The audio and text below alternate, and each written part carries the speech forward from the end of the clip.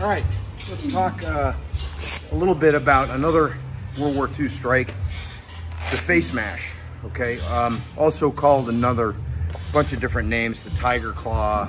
Um, people have called it a lot of different uh, names. But the idea of the face mash is a quick way for you to interact with your attacker's face without telegraphing so that he doesn't see it coming um, and landing primarily on his eyes with your fingers in his eyes, but also the palm slipping through and crushing his nose. Because when you do that, it interrupts um, sight, right? When you interrupt, when you get on someone's uh, nose like that, basically causes the eyes to tear. You could break the nose, which would never be a bad thing. Um, so we'll talk about it. The, the biggest mistake people make when they throw the face mash is they try to make it like a, a palm heel strike that's direct that goes straight into the target. And that's not what the face mash is. The face mash, the way I'm gonna show it to you, um, there is a height uh, issue. If you're severely, you know, outmanned by this guy being very tall, it might not be the right strike. The right strike probably is come up underneath, right? Like, like we did the last one, the chin jab or something like that, because you can access the shelf of the chin being a little bit smaller and being a little bit shorter. The face mash basically comes down on someone's face. It's like you're holding a grapefruit or a softball, right? And you want your fingers spread. You don't want them arched like this or anything like that. You want to just like you were holding a, a grapefruit. And then the old like Jim, Jimmy Cagney movie, right? I want to take that and I want to mash it down into the guy's face. So if you look at Bob, the point of this strike would be for me to have my hands up and like start at position number four, showing him my palms, being really chill, right?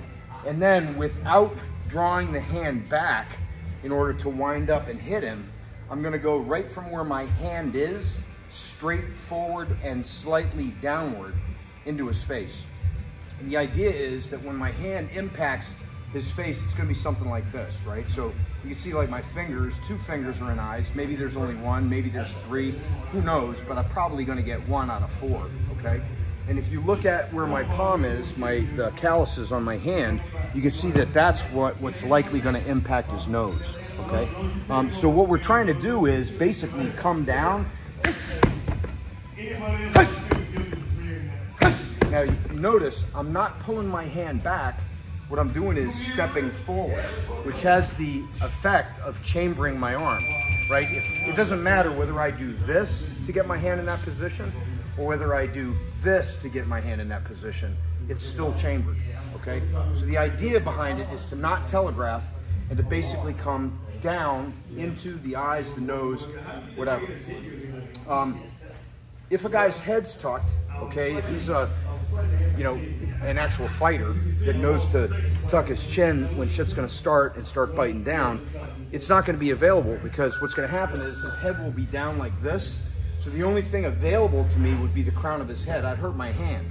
That wouldn't be a good strike for me, right? I coming down on his forehead and this part of his his skull, that would hurt my hand more than it would hurt his head, okay? Um, yeah, there's a little bit of neck compression, and I'm not gonna mince words and wiggle weeds and say like, well, it could be effective. It's not gonna be as effective as a fucking no kidding face mash, which basically, again, comes right there, okay? That's where we want it.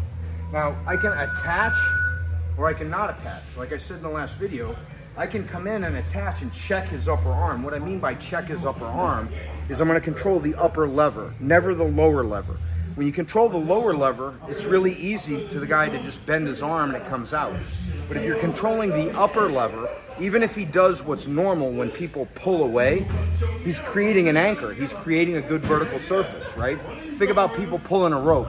No one pulls a rope without going like this, right? They want to yank it like this. And this is the same thing. So when you grab a guy's arm and you check that arm, what you don't want to do is grab low and just have him bend his elbow and pull it out.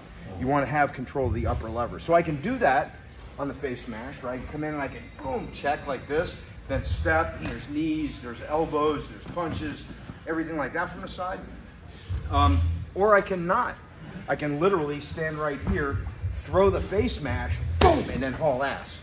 Just get that initial uh, startle, a little bit of pressure in his eyes, maybe you scratch a cornea, eyes are running, nose is running. He's not 100%, and that's kind of what we're after, okay? Um, so again, there's a little bit on uh, the face mash, also called tiger claw and all this stuff. Let me add one other thing. Again, the combatives, uh, combatives in quotes, guys out there that want to talk about gouging eyes and all that stuff. Um, look, if, if I face mash him, if, if I do like this, he's gonna back up, right? He's gonna, there's gonna be an effect where he backs away. The idea that I'm gonna do a face grab and put my fingers in his eyes, then lift my elbow and shove him down, if it's a really dynamic fight situation, like a true mutual combatant situation, that's very unlikely to happen, okay? Uh, because obviously every action we take has a consequence or a reaction. The guy's gonna do something, okay? So just keep that in mind. Uh, the old face mash takedown, uh, we used to practice that back in the old, old days. Um, I don't even teach that anymore. I don't teach to check the arm and then face mash takedown, okay? And the reason is, is tanglefoot, right? Too many times I saw people who were in an adrenalized moment just in training, let alone in the street, get their feet caught up in their opponent's feet or their attacker's feet and end up on the ground with them. We don't want to be in that situation. Okay, so again, World War II strike, it is useful. Um, it is a good sucker uh, blast. It is open hand. You're not jeopardizing your knuckles, uh, but that's the proper way, in my opinion, to throw it. Uh, remember, www.kembativz, K-E-M-B-A-T-I-V-Z.com. Go on our website, go on to events, scroll down, pick an event, come out and train with us. All right, come out and train with us. Follow us on Facebook, follow us on Instagram, like and share this content, and follow this channel. See you later.